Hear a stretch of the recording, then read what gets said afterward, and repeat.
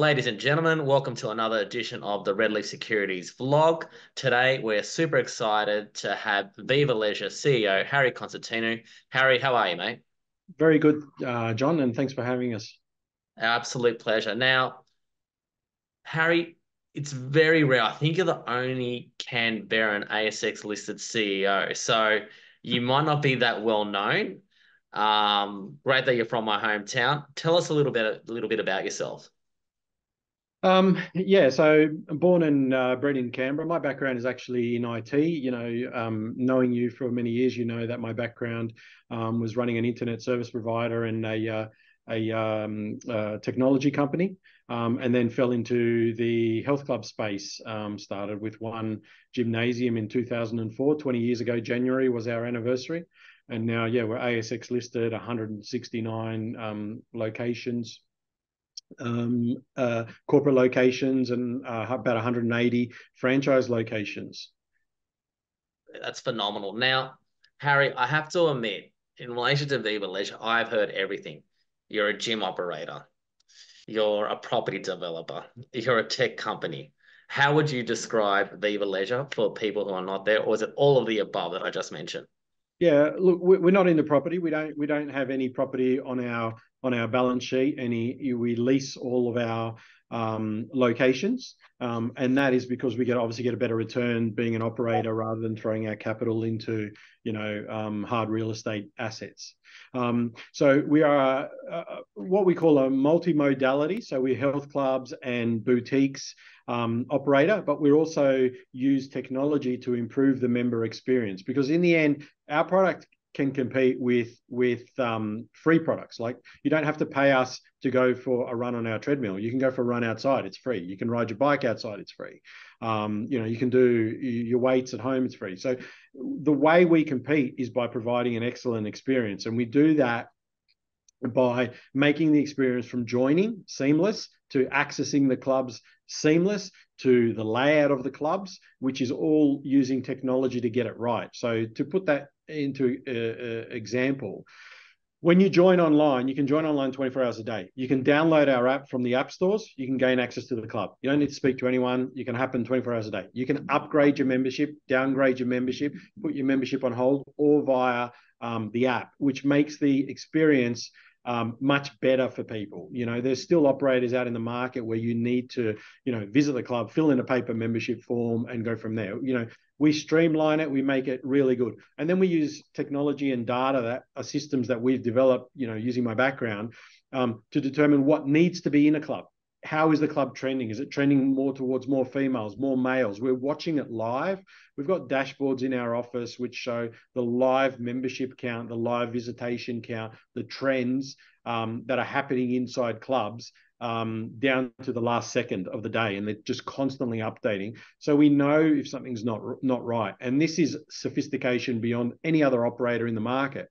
And what that advantage does is when we open up a greenfield location, um, we're able to cash flow break even within four to six weeks.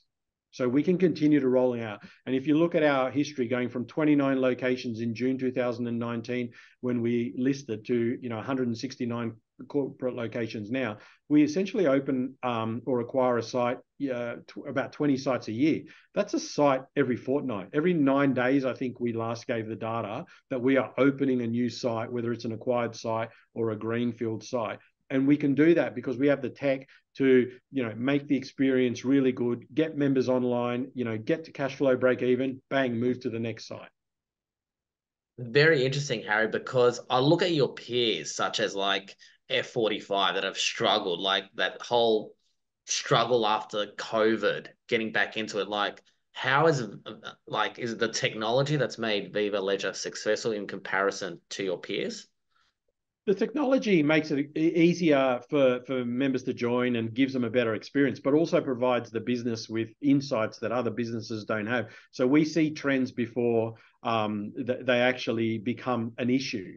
Um, whether it's a club is trending um, in one direction, we know that there's an issue there. Whether it's you know the club is overcrowded, where you know the club needs to you know accelerate its refurbishment program, whether the club is you know has too many male members um, and not enough female members, and it might have a group fitness section which is not getting utilized. so we make changes at that club to maybe remove that group fitness um, section um, and add more, um, you know, heavy weights uh, in that section, which keeps the the the members happy, the the men happy, for example, if that's what they're doing. Um, and in that scenario, what it does is allow the business to continually grow month on month on month net member growth um, which is another thing we do a lot different. We monitor net member growth across our platform, like I said, live every minute of the day. Um, it is literally um, live, and what that allows us to do is again see these trends, see what's going on. You know, maybe we have to supplement some additional marketing and things like that. It's a level of sophistication that the other operators, like you say, an F45 franchisee that runs one site, um, just doesn't necessarily do that. So we what we have in our network our average 30 day rolling average is 85,000 visits a day into the network. On a Monday, we're now just shy of 100,000 visits every single day into our network. And again, that's just data feeding in. We're seeing it, we're seeing how it's trending, we're improving the experience. Compare that to an F45. An F45 has on average 150 members. 150 members. We have 350,000 members in our network you know? So the data we can collect the insights the changes we can make are completely different to to what's happening with other players in the market. Then obviously our access to capital um, when we listed you know we're able to grow the business we're able to build the right systems and everything or uh, expand those systems. Um, again other operators do not have that now, Harry, you really had a great um, quarterly results. You know, you've increased your revenues. Can you speak a little bit to that, the key highlights? Yeah, so um, it's the we released our half year results um, last week. Um, the first half was based on um, a, a, strategic review program where we identified 27 locations that needed changes to the sites as part of either a, um, uh, a refurbishment, a repurpose, because we have a multi-brand strategy, we can repurpose locations from one brand and modality to another, and that's what we did. Um, so there was 27 sites we had identified as part of that strategic review. We completed 17 of them in the first half, and that was our focus. It wasn't on growth in the first half; it was just cleaning up these sites to get a better outcome. So, for example, we identified that that was a seven and a half million dollar program, of which after 12 months would generate six million dollars additional EBITDA. So it's you know, like an 80% payback for us based on additional members because in this industry we add more members, we don't actually add more cost. Um, into the business. You know, we're not, we don't have a unit cost that you know, and making a profit. It's basically, you know, the lights are still on, the staff are still there, the equipment's still there. So, you know, additional members and what we call utilization um, is very important. So whilst notwithstanding we didn't con- concentrate on growth in the first half, we are still able to um, achieve a 17% increase in revenue and an 18% increase in EBITDA, which we landed the half at 16.6 million of EBITDA. Um, when you look at half on half, because we have constant month and month growth and half on half growth. Respectively, that was 7 and 9% increase from the previous half. So 7% increase in revenue and 9% increase in EBITDA. So we're constantly growing, notwithstanding we didn't even concentrate on growth. The second half is about growth, and we've identified 21 locations um, and signed leases for, of which about four of them will open in the second half. But we've also identified we've back to gone back to our acquisition strategy in this half, and we've got 10 to 15 locations which we will secure um, via acquisition in this half. So over the next six months, what you're saying is shareholders of Viva Legend, they had to they've got to look forward to your acquisition as a growth strategy. Is that correct? Yeah, look, um, out of our like we've we've completed probably more acquisitions than most businesses um, will Ever. do in their lifetime. Yeah. Um, we have done 70 acquisitions in five years.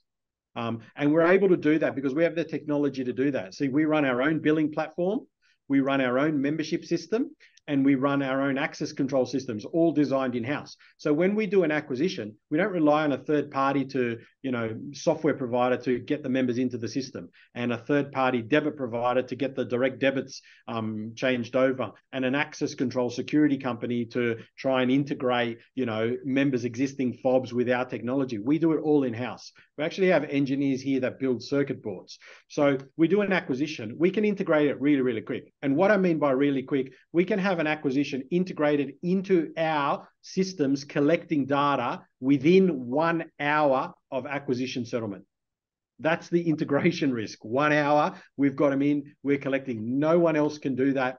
Um, That's unheard of. It, it, yeah, in the world. So when you look at our strategy, it's not a growth, it's not an acquisition strategy. We have done about 70 acquisitions um, and we've got 169 sites. So it's very close to 50 50 greenfield or acquisitions. We see what's going on. The good thing about acquisitions, though, um, is we we don't have any competition in the market. No one has the capital to compete with us. So um, there are no no one's going out there and going, hey, can I buy your gym for three million dollars? And I'm going to mortgage my house to do that.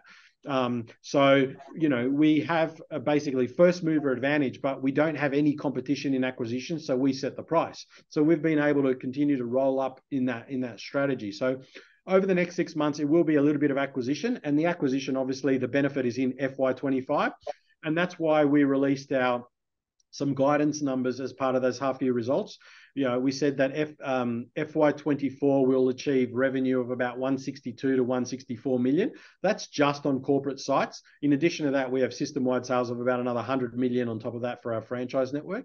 And EBITDA is expected to be between 35, 35 and 35 and a half million this year, which is about 20% up from what we did last year, 29 uh, million. But most importantly, we provided the quarter four run rate because when you've got a business that's recurring revenue and um, like ours and member month on month growth of members, we said quarter four will, will run rate at about 42 and a half to 43 million of revenue um, for the quarter um, and about $10 million worth of EBITDA for the quarter. So we just banked 16.6 million EBITDA for the half and we're saying the last quarter will do 10 million alone. So when you annualize that out, we're already starting somewhere between 38 and 40 million next year before the advantage of any acquisitions we do, before the maturation of any sites um, uh, that have opened this year. Um, and before any sites that open up next year will contribute because of the the uh, four to six weeks cash flow break even and starting to contribute. So you know FY25 is looking very very strong for Viva. Your advantage with technology and being able to identify a site is a key thing that investors should monitor and watch. And that's why, um, you know, we're having a close eye and we'll start getting investors in it. Harry, thanks for your time. Ladies and gentlemen, the ticker is VVA, Viva Leisure. Harry, again, thanks for your time, mate. Thank you. Cheers.